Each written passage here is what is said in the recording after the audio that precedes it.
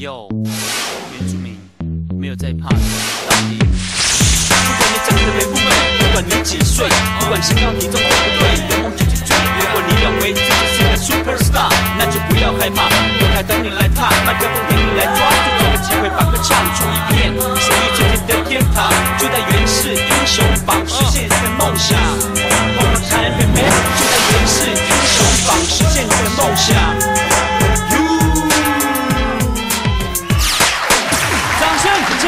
尖叫！所有的朋友，听到没有？大声点，听到没有？啊哈啊哈！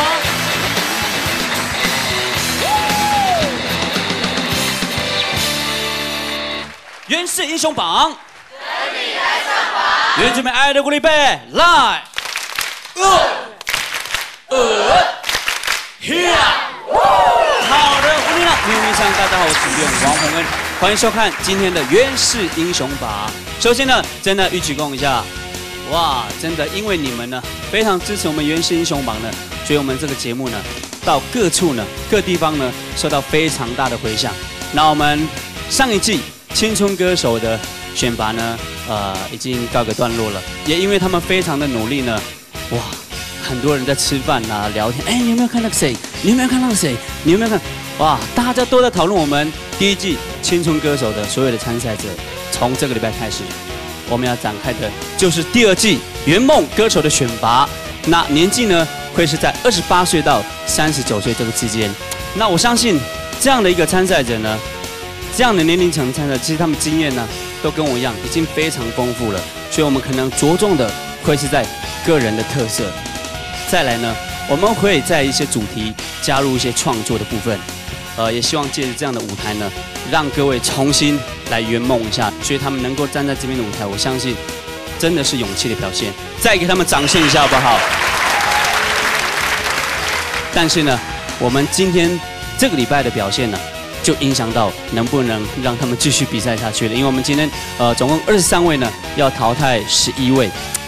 那留下十二位，哇，这样一几乎是淘汰一半呐。所以好坏是不是有机会可以留下来，要靠个人的努力。除了靠个人努力之外呢，评审相当重要。我们今天就要辛苦今天的评审老师。首先要介绍的第一位就是我们最美丽的傅威傅老师。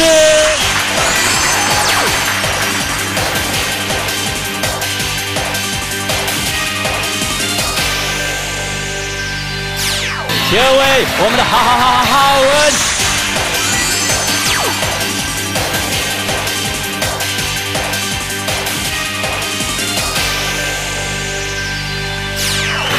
最美丽的罗美玲罗老师。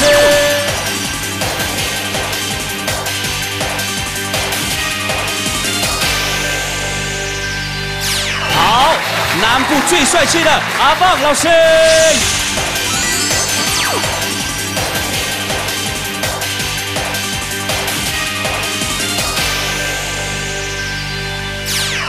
好，谢谢，今天要辛苦你们了，好不好？一开始呢，在比赛之前，还是要请老师大概简单给他们鼓励一下，因为我相信他们虽然是非常的有经验，但是看得出来他们的表情呢，相当的严肃啊，还是很紧张啦。因为我相信他们应应该也看过第一季的比赛，所以觉得好像还好，但是一上的这个舞台呢，真的不一样了，好不好？呃，在我相信大家都知道，现在有很多的歌唱比赛，可是，在所有的歌唱比赛当中，以我们现在目前今天参赛者的年纪来说，是比较少的一种比赛，从二十八到三十九，对不对？那呃，就因为如此，我希望今天现场所有的朋友可以好好把握这样的机会，因为终于有一个属于自己的舞台，而我一直相信音乐是跟我们的生活分不开的，所以各位只要把你们从以前到现在的一种经验。这么难得的机会，我今天就站在台上，好好的把它表现出来，让所有的人都看到这样的信心跟这样的决心。我希望今天就是让各位可以留下来，一直跟我们比到最后的一个动力。所以再次希望现场的朋友加油。好的，有请我们圆梦歌手代表之一浩恩老师。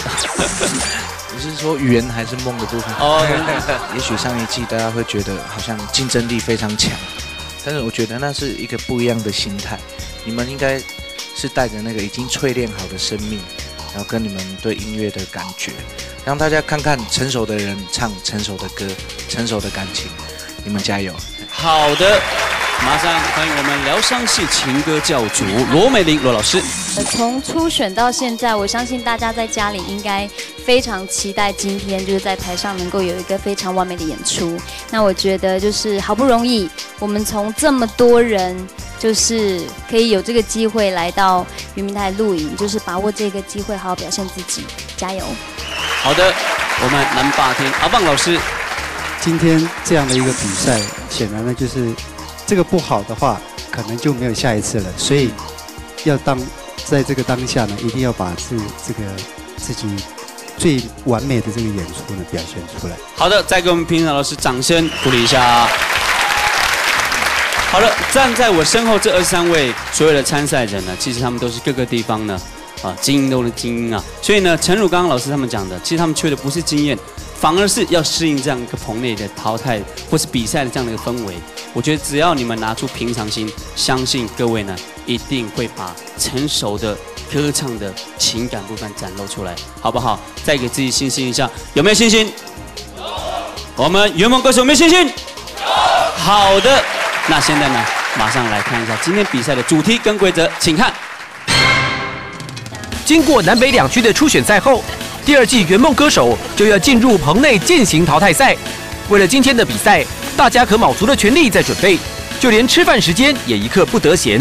毕竟这是原氏首次举办二十八岁至三十九岁圆梦歌手的选拔，要把握这难得的机会，唱出傲人的成绩，自然一分一秒都马虎不得。除此之外，制作单位更利用抽签的机会，让各个选手们自我介绍彼此，认识对方。借此消除比赛紧张的气氛，到底谁会在比赛中脱颖而出，顺利晋级十二强呢？我们拭目以待。今天进行的是十二强淘汰赛，将从二十三位参赛者当中淘汰十一人。比赛项目两分钟自选曲，评分标准：歌唱技巧百分之五十，造型及台风各占百分之二十，创意特色占百分之十。满分是二十个灯，谁能得到评审的青睐，获得晋级呢？好的，所以呢，从这个礼拜开始呢，我们就要展开我们圆梦歌手的选拔。所以呢，请大家呢一定要拿出最好最强的实力，好不好？那接下来呢，我们就要开始我们今天的比赛了。第一位要邀请的呢，是来自北区初选第六名的谢正南，台湾族，他带来这首歌《明天你是否依然爱我》，掌声鼓励鼓励，耶！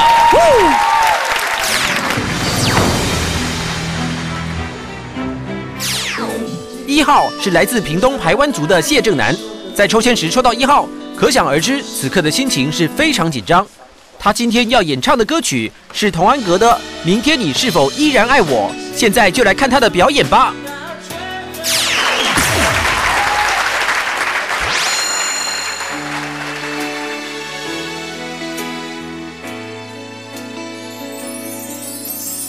午夜的收音机。轻轻传来一首歌，那是你我都已熟悉的旋律。在你遗忘的时候，我依然还记得。明天你是否依然爱我？我早已经了解。追逐爱情的规则，虽然不能爱你，却又不知该如何。相信总会有一天，你一定会离去。但明天你是否依然爱我？所有的故事，首主题。歌，我知道你最好的选择。所有的爱情只能有一个结果，我深深知道，那绝对不是我。既然曾经爱过，又何必真正拥有你？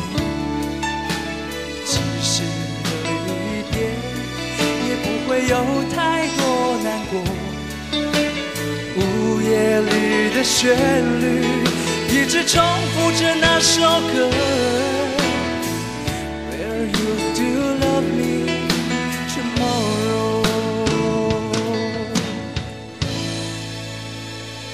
谢谢，掌声鼓励。正南，台湾组对不对？是。哇，我现在看到台湾组都会怕，因为我们上一季啊，几乎呢都被台湾组还有卢凯组囊括了所有的席次啊。来，先跟大家问好一下好不好？呃，大家好，电视机前面的观众朋友们，大家好，以及现场的所有朋友们，大家好，我是谢正南，来自于屏东的台湾族，谢谢。哇，这一看这个感觉，讲话的方式有点像部落的村干事的这种职位。呃现在从事什么样的工作吗？我现在要在台中的那个五金行工作。哇，五金行。对啊。哇，顾名思义就是一些铁钉啊，不然就一些什么对钢板的一些。对，现在那个都涨价了。哇趁现在赶快去买。所以跟你报名会 有一些打折的这样的工作。对对对对对我都可以享有九五折。好了，言归 九五折，你是卖机油哦。好了，言归正传，到底今天正南我们圆梦歌手的第一位代表会得到什么样评审老师的一个呃奖励或肯定呢？来，首先有请我们的副委老师讲评。呃，觉得正南在这个台风，还有他在我们刚刚访谈的这个言语当中，会让人家觉得他是一个很很稳重，然后很舒服的人。那然后呢，用这样子来看，其实他选了这首歌，也让我觉得他的呃选的方式是一个让人家觉得很舒服、很温柔，但是有一点安全的情歌。因为在这首歌里面，在比赛当中，我没有办法感觉到你深切的，再再多一点点的情绪，就是你是一个很温柔、很抒情，但是呢，但是是什么？你要告诉我们更多的东西，让我们有更多的体会，才在一个比赛当中可以让我们觉得你不是平的，你是突出的那一位。所以在这个部分我蛮期待的，但是在一首温柔的情歌的话，你是有做到的。所有的故事只能有一首主题歌。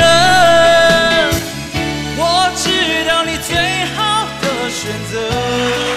有请浩文老师。你的打扮让我很欣赏哈，哇完全是真个超人造型的他大概是。五金行选秀 model 出来的冠军了。OK，马上有请评审老师给灯，Yeah，Woo！好的，我们看到我们傅威老师给四个灯，浩文老师给四个灯，罗美玲老师给四个灯，阿棒老师给三个灯，一共得到十五个灯，掌声鼓励鼓励。好，也希望正南呃在接下来的比赛呃如果有机会进入我们的十二强的话，把情绪刚刚老师讲的部分嘛，还有呃这个歌唱那个张力的表现再拿出来，好不好？好，好，再次谢谢正南的演出，再给正南掌声加尖叫，谢谢。好，谢谢正南。好，二号呢，我们要派出的代表呢，就是在北区初选呢得到第二第第八名的何志华，他是泰雅族的，要带来这首歌游鸿明的《爱我》，掌声加尖叫。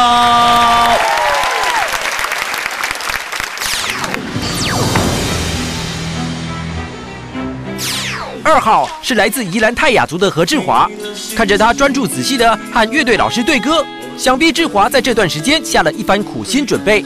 他今天要演唱的是游鸿明的《爱我》，话不多说，赶快来看他的表演吧。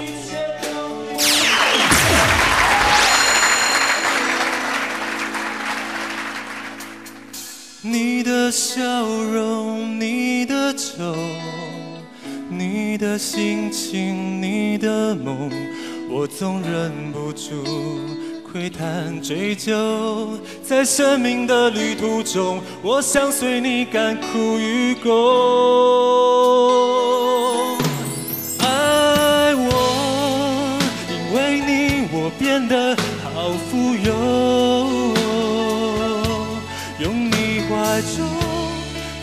在占有，那种满足是一切都比不过。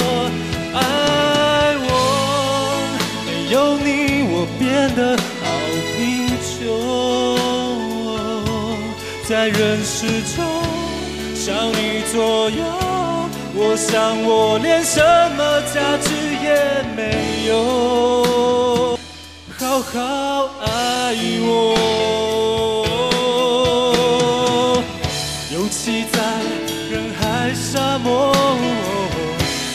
的心越来越难懂，在我心中有个你寄托。爱我，因为你我变得好富有，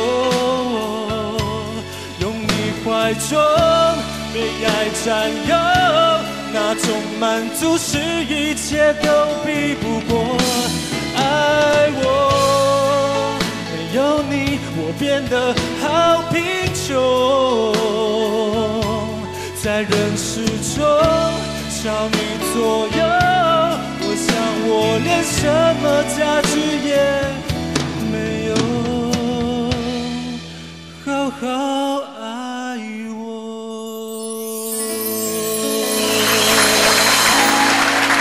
掌声鼓励鼓励。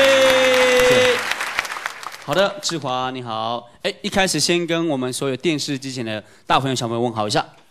电视机前的观众，现场的观众，大家好。好，志华目前从事什么样的工作？呃，我在做那个访谈性的节目。访谈性的节目，什么叫访谈性的节目？访谈性的就像康熙也是访谈性的 OK 就是他们会访问一些比较综艺的或是艺人啊，嗯这样比较有趣的。那我就会做一些汽车的访谈性节目，或者是说哦介绍一些年轻人的访谈性节目。哇，所以呢，应该站在这个舞台应该是蛮轻松愉快的了哈。没有一点都不轻松，还是有压力是不是？我们的棚没有那么大哦，所以看到这么多人，尤其肤色各方面都不均匀的状况下，会有压力这样。压力还蛮大，而且我旁边坐一个超黑的。哦，不要这样，你们泰雅族好不好？不要再笑我们不排族的好不好？布农跟台湾都比较黑一点。重点，哎，应该也很难得参加这种原住民的盛事，对不对？呃因为都在外面工作，可能除了祭典之后，应该很难得在这么多原住民好朋友的状况下，一起来共同参与一件事情。对，其实比较少，因为我们还蛮早就到北部来了。嗯因为我妈妈是宜兰花莲那边的泰雅族。嗯对啊。好，也希望你好好的享受此刻，好不好？好，针对演唱的部分，到底评审老师会给你什么样的奖品呢？有请傅卫老师。呃，志华在啊、A 段部分、B 段部分的假音的部分，我觉得我蛮喜欢的，因为它是很轻、很轻的部分，嗯不会太过于强调那是技巧的部分，它反而把假音变成是一个转接的一个部分，甚至是一个表达，所以没有那么矫情，我很喜欢。因为你我变得好富有，你怀中被爱占有，那种满足是一切都比不过。呃，我很喜欢你的中音哈，很很很厚。以这样的音箱来看，其实这样的声音不可多得了哈。嗯但是，对啊，因为通常要像我们这样子哦，音箱很厚的哈，嗯，身材圆圆的，大概随便唱声音就会这么大一捧嗯这样。然后，所以你有你有很独特的声音，但是就是在音准的部分，你没有好好处理你的尾音，就是没有抓住，唱进去之后就哦，就让它过了。所以有的时候那个开头重要，结尾也相当相当的重要。好，阿邦老师，你那个音准为什么会飘？就是因为你的丹田的力气还不够，我觉得。所以你你自己再回去，如果有看这个转播的话，回去再自己揣摩。好，其实呢，刚刚评审老师有讲到一个重点，就是可能的丹田的部分、气的部分，导致你尾音有点不足，对不对？是不是这样？会会有用力过猛的情况，哦，会这样子。就是会冲冲出去。好，之前有看过我们的比赛吗？上一季的有，所以呢，有看到我们李树全老师针对这样的疑难杂症做的一些方法指导吗？比方他说你要多练这个咯咯咯咯咯咯咯咯咯咯咯咯咯，有没有？其实这个方法蛮好的，回去可以练一下。好，咯咯咯咯咯咯咯。所有电视机前的朋友，如果你有这样的症状的话，哎，可以针对这样处理一下，好不好？好也希望志华再接再厉，马上呢就要看一下我们志华登出了，准备接招。有请评审老师给灯，耶！哦看一下，我们傅伟老师给四个灯。好，我们的浩文老师给四个灯，罗美玲老师给四个灯，我们的阿邦老师给三个灯，一共得到十五灯，掌声鼓励鼓励。谢谢老师。好，也请志华呢再接再厉好不好？有机会进我们的十二强的话，一定要把自己的缺点改进优点，再把它发扬光大出来。好，好，谢谢志华今天的演出，给他掌声鼓励一下。谢谢。这个礼拜呢，我们就要展开我们圆梦歌手的选拔，请大家呢一定要持续的关注，说不定，嗯，下一个王文恩不会出现，哈哈，没有开玩笑，说不定他们绝对会让大家吓一跳的。休息一下，待会再回到我们的原始英雄榜。原始英雄榜即日起开放观众参观现场录音喽，报名查询专线零二二六三零一九七六零二二六三零一九七六，报名传真专线。